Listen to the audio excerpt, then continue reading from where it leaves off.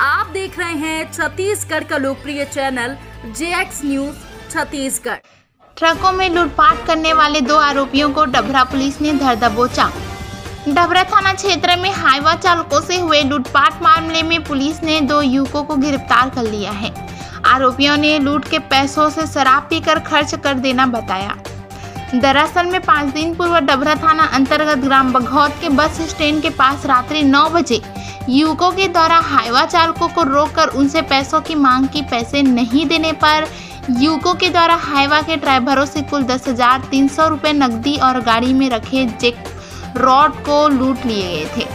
Dabra police ने दोनों आरोपियों को गिरफ़्तार कर जेल भेज दिया गया है।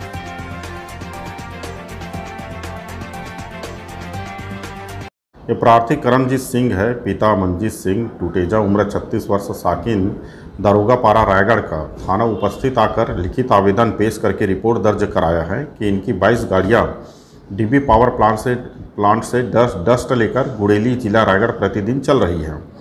वाहनों को आते जाते समय ग्राम बघौत में चेतन कुमार साहू, जितेंद्र वैष्णव, अजीत खान ने घटना दिनांक ग्यारह दो इक्कीस के रात्रि करीबन नौ से 10 बजे के मध्य इनके गाड़ियों को रोक के ड्राइवरों को नीचे उतार कर उनको खूब रोड में मत चलना करके गंदी गंदी गाली गलौज दिए हैं और बाँस के डंडा से मारपीट किए तथा उनके पास रखे पैसा, दस हज़ार रुपये नकदी और चेक चेक राट को लूट लिए हैं।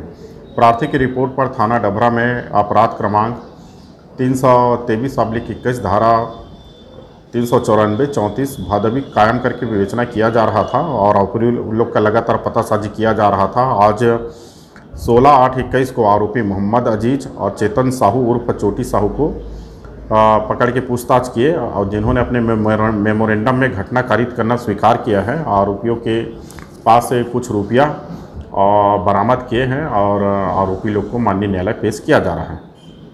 खबरों में बने रहने के लिए जेएक्स न्यूज़ को सब्सक्राइब करें, बेल आइकन को दबाएँ, ताकि हर खबर की अपडेट आपको मिलती रहे।